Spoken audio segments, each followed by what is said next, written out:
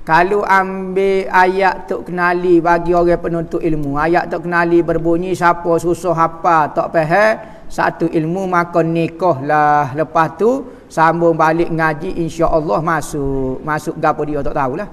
Pas kalau tak ada kerja boleh nikah kau tak ustaz. Sebab ada orang kata kena ada kerja baru boleh nikah saya keliru lah ustaz. Gini.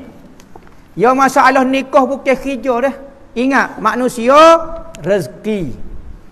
Rez, rezeki tu kena ada. Selagi mana manusia ada rezeki tu ada lah rezeki beza apa dia rezeki dengan kerja rezeki dengan gaji. Ada orang kata tak ada gaji. Tak syarat ada gaji. Hak penting rezeki. Ada orang rezeki ni rezeki ada bila? Sebulan baru boleh gaji. Rezeki tiap-tiap hari tiap-tiap masa.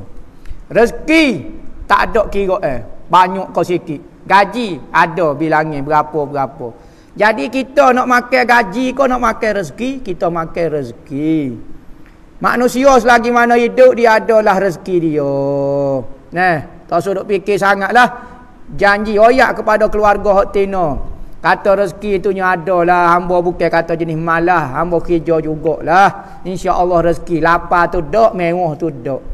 Lapar tu dok mewah pun tidur hak penting tak matilah pok kita boleh hidup nah ha, jadi boleh nikah tak ada masalah ke apa dia eh.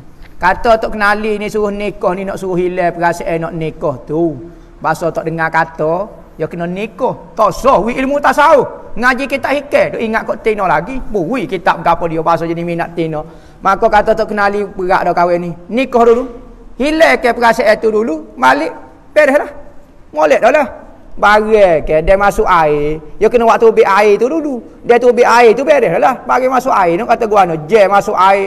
Handset masuk air. Ya kena seduk dulu. Air tu waktu ubik. Ah, molek semula lah. Ini lagu tu.